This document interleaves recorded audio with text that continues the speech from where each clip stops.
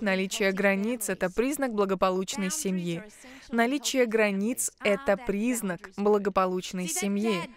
Смотрите, отец не побежал за сыном, умоляя вернуться. Он сказал, ты сделал свой выбор. Я не согласен с тобой, и мне не нравится твое решение.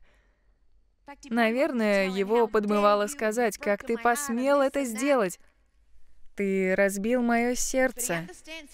Но он понимал, что он родитель и что он сыграет эту роль достойно. Я отец, и я останусь отцом. Если ты хочешь уходить, уходи, чтобы жить распутно, но, пожалуйста, я твой папа, и я им останусь. Дорогие родители, дедушки и бабушки, нам нужно осознать, кем мы являемся и как нам нужно жить. Отец не контролировал сына, но позволил ему уйти. Он пришел к этому решению не за один день. Что самое тяжелое в воспитании детей? Хотите ли вы спасти их? О!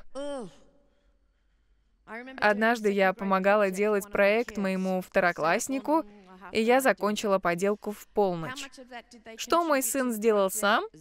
Ничего. Родители, а вы делали проекты своим детям? Я помню то, в чем мне признаться тяжело, но мы делали это, потому что привязаны к детям. Однажды моя дочка вернулась из колледжа и пожаловалась на профессора. Я стала грозной и сказала, сейчас я позвоню ему. Как это глупо. Как же это глупо.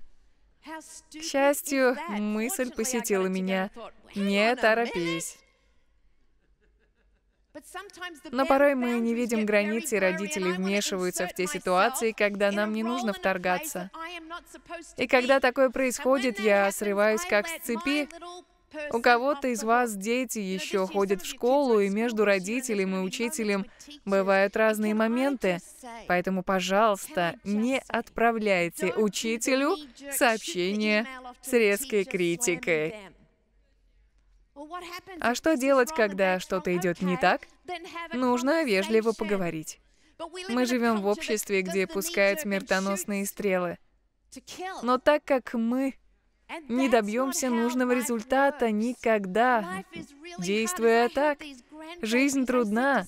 У меня на руках были внуки, и я сказала Стиву, они будут жить в этом ужасном мире. И он ответил, послушай, Бог посылает нужных людей в нужное время.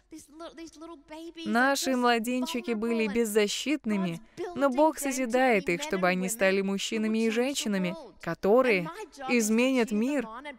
Моя задача — лелеять их и молиться за них постоянно.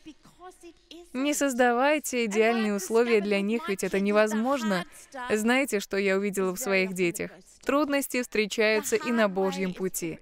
Тяжелый путь — это лишь путь, потому что Бог изменяет наш характер именно так.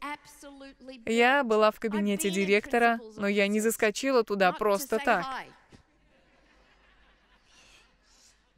Я пришла туда как мать школьника, мне сказали, нам нужно поговорить с вами. Я узнала, что это такое. Дорогие, мои дети выросли, вступили в брак и нарожали детей. Ваши дети тоже закончат школу, поэтому соблюдайте границы и не сворачивайте с курса.